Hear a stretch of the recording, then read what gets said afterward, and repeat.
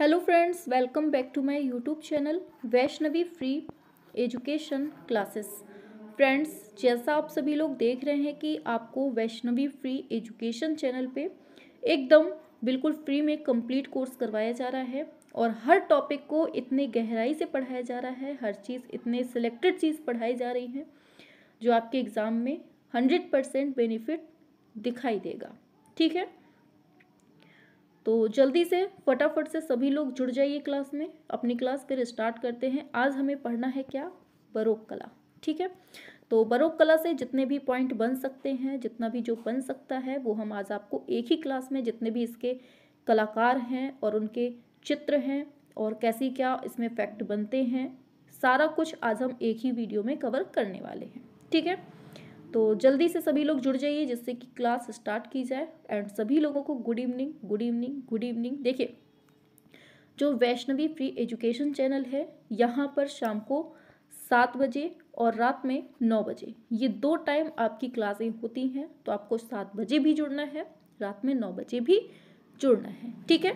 दो क्लासें होती हैं, दो क्लासें आप लोग अच्छे से पढ़ लिया करिए। लगभग चीज़ें आपको यहीं से एग्ज़ाम में देखने को मिल जाएँगी। ठीक है? चलिए, क्लास स्टार्ट करते हैं और जो बच्चे चैनल पे नए हैं, जो बच्चे चैनल पे नए हैं, सब्सक्राइब नहीं किए हुए हैं तो फटाफट से कर लीजिएगा, जिससे कि सारे नोटिफिकेशन आप तक टाइम टू टाइम पहुँच जाए। चलिए स्टार्ट करते हैं।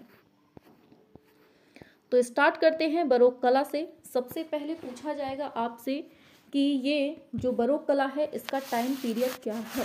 इसका टाइम पीरियड क्या है तो याद रखना है, इसका टाइम पीरियड है आपका 1600 से लेकर सभी लोग छापते जाएँगे आंसर, ठीक है?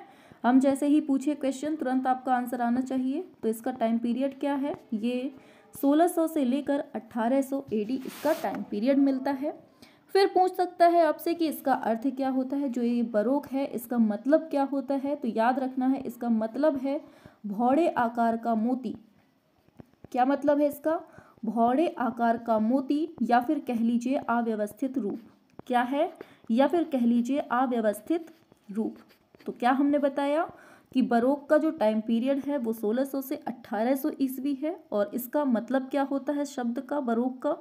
भौड़े आकार का मोती या फिर अव्यवस्थित रूप। ठीक है? फिर आपसे पूछ लेगा कि 1600 से 1800 ईस्वी तक यूरोप में जो प्रचलित ये शैली है, ये पहले ना बदसूरत मानते थे इसको लोग, ठीक है? और ये फिर बाद में बहुत लोकप्रिय हुई थी, ये याद रखना है। जो बरोक कला है, इसको पहले बहुत बदसूरत माना जाता था, लेकिन बाद में ये धीरे धीरे बहुत लोकप्रिय होती चली गई। और बलो, बरोक कला में धार्मिक विषयों के चित्रों के अलावा राज दरबार के, सामाजिक जीवन के और व्यक्तियों के चित्र पर्याप्त मात्रा में बनने लगे थे। किसके किसके? लिख देते हैं। राज दरबार के सामाजिक जीवन के, सामाजिक जीवन के और व्यक्तियों के चित्र पर्याप्त मात्रा में बनने लगे थे, ठीक है? और यूरोपीय कला का ये जो काल है ना, ये स्वर्ण युग माना जाता है। ये क्वेश्चन पूछ लेता है कि यूरोपीय कला का स्वर्ण युग किसको कहते हैं? तो ये आपके, किसको कहते हैं स्वर्ण युग तो आपके बरोक कला को कहते हैं, ठीक है? और इस काल में व्यक्ति चित्र, वस्तु चित्र और प्रकृति चित्रण को कला में महत्वपूर्ण स्थान भी था। याद रखना है। ठीक है? और बरोक शैली जो है ना, ये इटली देश की है। कौन से देश की है ये? इटली देश की है। याद रखनी है। और ये शैली नाटकीय चित्रण के लिए जानी जाती है। कहे के लिए जानी जाती है? नाटकीय चित्रण के लिए जानी जाती है। याद रखना है। ठीक है?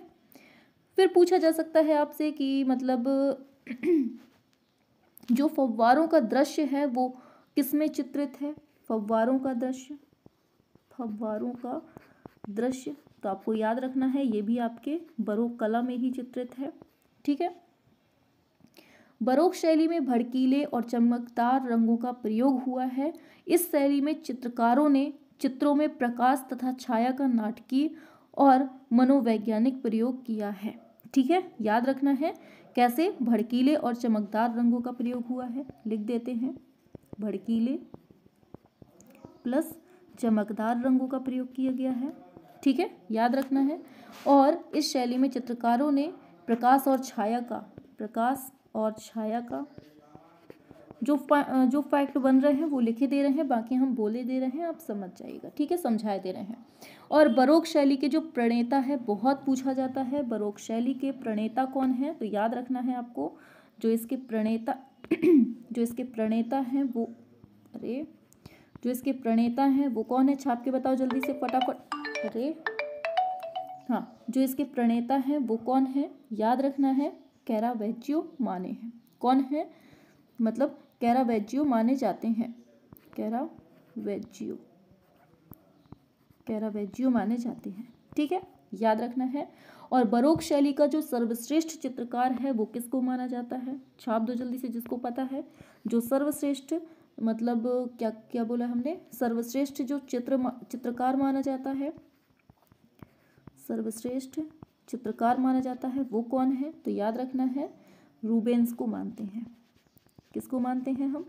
रूबेंस को मानते हैं। प्रणेता कौन हो गए? कैरावेजियो सर्वश्रेष्ठ चित्रकार कौन हो गया? रूबेंस हो गया। ठीक है, अब इसके कुछ प्रमुख चित्रकार हैं। वो कौन कौन से हैं? देख लेते हैं। ठीक है, ये बात हो गई मोटी मोटी अब बात कर लेते हैं इसके जो प्रमुख चित्रकार हैं। वो कौन कौन है? देख लेते हैं। तो पहला तो आपके कैरावेजियो है।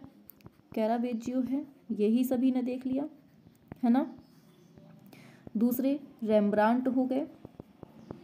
रेमब्रा हो गए। रेमब्रांट बोल दीजिए, चाहे जो कुछ बोल दीजिए, वही चीज़ है। पीटर पाल रूबेंस हो गए। पीटर पाल रूबेंस हो गए, ठीक है। एंड नेक्स्ट लिख लीजिए फ्रांस फ्रांस हॉल हो गए। फ्रांस हॉल्स हो गए। फ्रांस हॉल एंड बसीनी हो गए। बसीनी वॉन डाइक हो गए। ठीक है तो इस तरह से यहाँ के जो चित्रकार हैं ना, ऐसे ऐसे, ये चित्रकार हैं मेन मेन आपके बरोक कला के। ठीक है, अब एक एक करके हम इनको देख लेते हैं, इनका टाइम पीरियड देख लेते हैं, उनको अच्छे से समझ लेते हैं। ठीक है, चलिए। तो प्रमुख कलाकार में सबसे पहले आते हैं कौन? कैरा वेजियो आते हैं। कैरे वेजियो आते हैं, ठीक है? चलिए समझ लेते हैं इसके बारे में। इनका जो टाइम पीरियड है ना, वो मिलता है हमें पंद्रह सौ तिहत्तर ईस्वी से सोलह सौ दस ईस्वी तक इनका टाइम पीरियड हमें देखने को मिलता है, ठीक है? और जो कैरावेजियो है ना, ये बरोक शैली के प्रमुख चित्रकार थे। इसके अलावा इन्होंने यथार्थ शैली में भी काम किया है। किसमें? यथार्थ शैली में भी काम किया है। याद रखना है। और कैरावेजियो इटली का प्रसिद्ध कलाकार था। कहाँ का था ये? ये इटली का प्रसिद्ध कलाकार था। और इसने अपने चारों ओर जनजीवन का चित्रण किया है। कहाँ, कहे का चित्रण किया है? जनजीवन का चित्रण किया है। याद रखना है। ठीक है? और इसके जो प्रमुख चित्र हैं मेन मेन चीज़ें बता रहे हैं केवल। ठीक है? जो मेन मेन फैक्ट है ना, उन्हीं को बता रहे हैं। तो इसके जो प्रमुख चित्र हैं, वो कौन कौन से हैं? लिख लीजिए। कुमारी की मृत्यु, कुमारी की मृत्यु। दूसरा लिख लीजिए, ईसा का दफन, ईसा का दफन, एंड और लिख लीजिए virgin of pilgrims, virgin of virgin of polygrams polygrams, ठीक है? और सेंट में एक सेकेंड ऊपर लिख देते हैं। कहाँ लिखें? जगह तो है ही नहीं। चलिए यहाँ पर लिख देते हैं। ठीक है, यहाँ पर लिख देते हैं। लिख लीजिए, संत मैथ्यू का बलिदान। संत मैथ्यू का बलिदान। ठीक है? आगे बढ़ते हैं। तो आगे आगे लिख लीजिए, फ्रूट बास्केट। Fruit basket. ठीक है? तो ये जो मेन मेन मेन मेन जो आपको दिख रहे हैं ना, ये जो मेन मेन चित्र हैं, ये किसके हैं? कैराबेचियो के हैं, ठीक है? जो मेन मेन फैक्ट है, केवल उतना पढ़ लीजिए, लगभग क्वेश्चन यहीं से मिलेंगे आपको, ठीक है? फालतू की हिस्ट्री नहीं पढ़नी है, जहाँ से क्वेश्चन बने, केवल हमें उतना ही पढ़ना है, ठीक है? चलिए, आगे चलते हैं तो ये बात हो गई कैराबेजियो की टाइम पीरियड बता दिया, और इटली के हैं, जंजीवर पर चित्रण किया है, उनके चित्र कौन कौन से हैं, ये सब चीज़ें हमने आपको बता दी। अब आगे चलते हैं पीटर पा, पीटर पाल रूबेंस पे। नेक्स्ट आते हैं आपके कौन? पीटर पाल रूबेंस आते हैं। अब इनके बारे में क्या है? कब इनका जन्म होता है? पंद्रह में होता है। 1640 में इनकी मृत्यु हो जाती है। तो इस तरह से इनका टाइम पीरियड देखने को मिलता है ठीक है? और इनका जन्म होता कहाँ है? पंद्रह सौ सत्तर में जर्मनी में होता है। कहाँ होता है? जर्मनी में होता है। याद रखना है। और रूबेंस जो है ना, ये फ्लेमिस्ट कलाकार हैं। कैसे हैं ये? फ्लेमिस्ट कलाकार हैं, याद रखना है। और रूबेंस ने नारी आकृतियों को सर्वाधिक चित्रित किया है। किसको? नारी आकृतियों को सबसे ज़्यादा चित्रित किया है। ठीक है? नारी आकृतियों को। और रूबेंस ने बाइबल के विषयों को मानवतावादी दृष्टि से चित्रित किया है। किसको? बाइबल को मानवतावादी दृष्टि मतलब क्या बोल रहे थे हम? हम बोल रहे थे कि बाइबल के विषयों को जो है मानवतावादी दृष्टि से चित्रित किया है। इनके चित्रों में काव्य का प्रभाव बहुत देखने को मिलता है और और जो मतलब मतलब मतलब इनके जो चित्र चित्र हुए हैं ना, चित्र बनाने के लिए रूबेंस बहुत फ़ेमस हैं। मतलब जो मतलब क्या बोलते हैं उसको? अरे, मान, अरे, अनावृत्ताओं का जो चित्र बनता है ना इनके लिए बहुत फ़ेमस है, ठीक है? याद रखना है। चलिए, आगे चलते हैं, लिख देते हैं अनावृत्ताओं का। अनावृत्ताओं का जो चित्र है, बनाने के लिए ये बहुत फ़ेमस है, याद रखना है, ठीक है? अब इनके कुछ प्रमुख चित्र हैं, उनको देख लेते हैं। प्रमुख चित्र कौन कौन से हैं? इनके जो प्रमुख चित्रों में आता है, ईसा का सूली से उतारा जाना।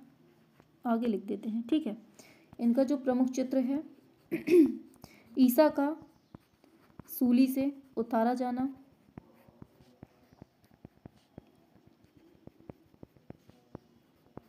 सूली से उतारा जाना। दूसरा लिख लीजिए, ईसा का क्रूसारोहण। यहीं लिख देते हैं, ठीक है? ईसा का क्रूसारोहण। ग्रामीणों का नृत्य। ग्रामीणों का नृत्य। रूबेंस तथा उसकी पहली पत्नी। रूबेंस तथा उसकी पहली पत्नी। ये सब इसके चित्र हैं, ठीक है? हाँ। और ईसा का सूली से उतारा जाना हमने बता ही दिया है। और कौन सा होगा? पेरिस का निर्णय हाँ। पेरिस का निर्णय लिख लीजिए सारे इम्पोर्टेंट हैं ठीक है? पेरिस का निर्णय फिर लिख लीजिए हम्म, लूसीपस के कन्याओं का सील भंग ये भी इम्पोर्टेंट है। लूसीपस लूसीपस के कन्याओं का के कन्या अरे भाई ये बहुत आ रहा है। एक सेकेंड साइलेंट में लगा दें। हाँ चलिए। तो क्या बता दिया हमने? लूसीपस के कन्याओं का कन्याओं का सील भंग। ठीक है, ये भी एक चित्र है। एंड नेक्स्ट एक और लिख लीजिए। शांति के वरदान। शांति के वरदान। ठीक है तो इस तरह से जो आपके ये चित्र हैं, ये सब किसके हैं आपके? पीटर पाल रूबेंस के हैं। ठीक है, आगे बढ़ते हैं। अब नेक्स्ट आते हैं आपके रैमब्रा ठीक है? नेक्स्ट आते हैं आपके कौन? रैमब्रा आते हैं। तो इनको देख लेते हैं। इनके जो फ़ेमस चित्र हैं, वो क्या हैं? सबसे पहले इनके जन्म मृत्यु की बात कर लेते हैं। ठीक है? इनका जो जन्म होता है, वो सोलह सौ छः में होता है और मृत्यु होती है सोलह सौ उनहत्तर में। ठीक है? और सोलह सौ मतलब इनका जो जन्म होता है, सोलह सौ छः ईस्वी में कहाँ पर होता है? हॉलैंड में होता है। कहाँ पर होता है? हॉलैंड में होता है। याद रखना है, और हॉलैंड का प्रसिद्ध चित्रकार कौन है, ऐसे भी पूछ सकता है उल्टा करके तो रैमरा है, ठीक है? और रैमरा जो है ना, ये बरोक शैली का नाटकीय चित्रण के लिए फ़ेमस है। ये काहे के लिए फ़ेमस है ये? ये आपके नाटकीय चित्रण के लिए फ़ेमस है, याद रखना है।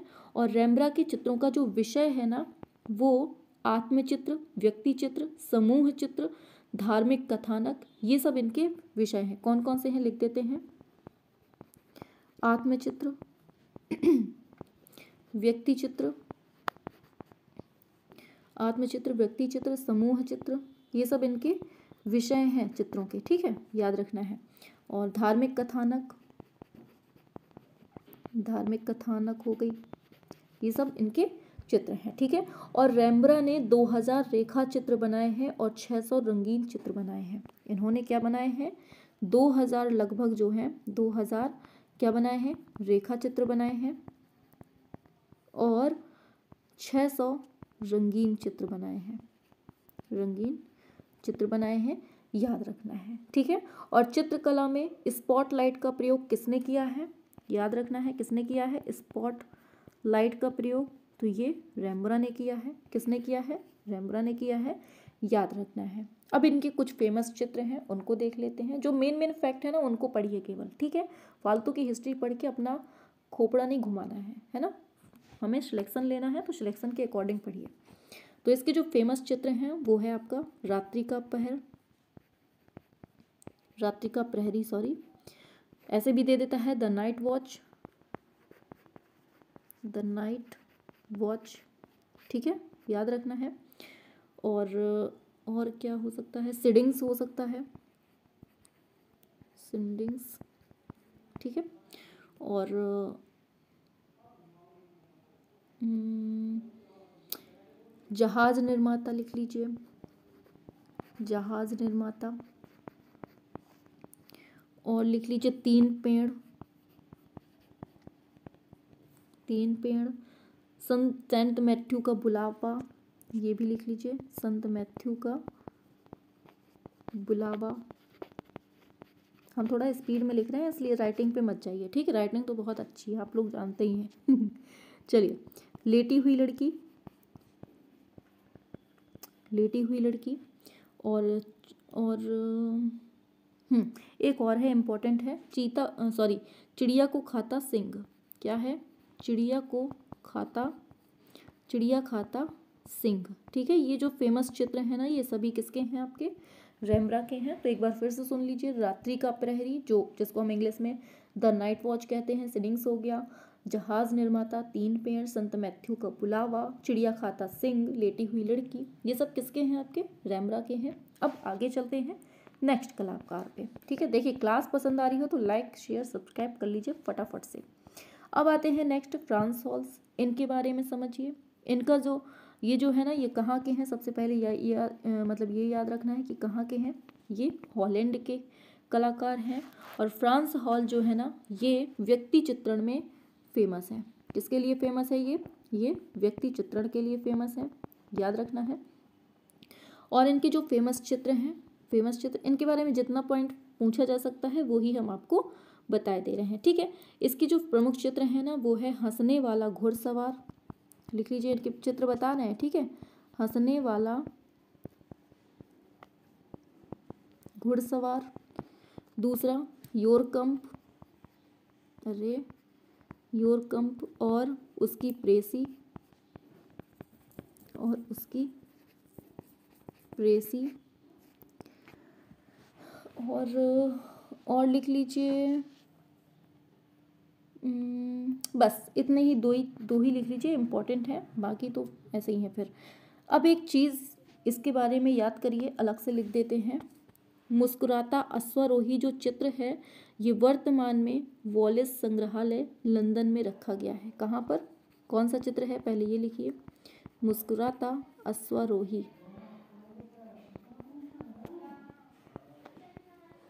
मुस्कुराता अश्वरोही।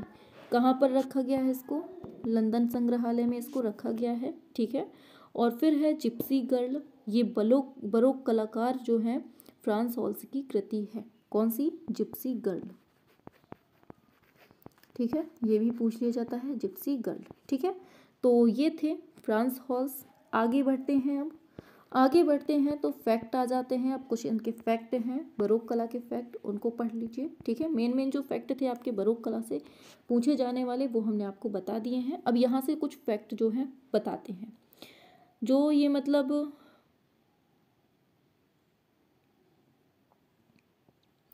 चलिए, लिख देते हैं। एक, अरे यार, ये लिख नहीं रहा है। चलिए हाँ वर्मियर जो है पूछा जाता है वर्मियर कहाँ का कहाँ का चित्रकार है? वर्मियर एक चित्रकार है, ये कहाँ का है पूछ लिया जाता है। तो याद रखना है, ये कहाँ का है? हॉलैंड देश का है, ठीक है? दूसरा फैक्ट आपसे पूछा जाएगा कि वॉन डाइक जो है, ये रूबेंस का मित्र था। कौन? Van Dyck. किसका मित्र था? रूबेंस का मित्र था, ठीक है? रूबेंस का मित्र था, याद रखना है। क्वेश्चन ऐसे पूछ लेता है, इसलिए ये थोड़ा सा हम अलग से लिखवा दे रहे हैं, ठीक है? इंग्लैंड के जो राजा चार्ल्स फ़र्स्ट हैं, इन्होंने वॉन डाइक को राज चित्रकार नियुक्त किया था। किसने? चार्ल्स फ़र्स्ट ने। लिख लीजिए, चार्ल्स फ़र्स्ट ने इनको राज चित्रकार नियुक्त किया था, याद रखना है, ठीक है? ये इंग्लैंड के राजा हैं, और वॉन डाइक का जो फ़ेमस चित्र है ना, वो है कांटे का मुकुट। लिख देते हैं यहाँ पर अलग से। इनका जो फ़ेमस चित्र है ना, वो क्या है? कांटे का मुकुट। कांटे का मुकुट। और दूसरा लिख लीजिए, ईसा के शव पर शोक। ईसा के शव पर शोक। ये किसके चित्र हैं आपके? वॉन डाइक के हैं, याद रखना है। ठीक है? आगे बढ़ते हैं तो आगे आपसे पूछ लिया जाएगा कि मतलब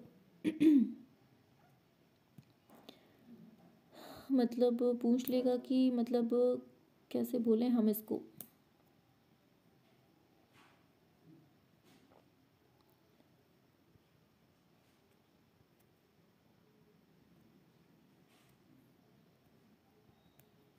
चलिए, आगे चलते हैं।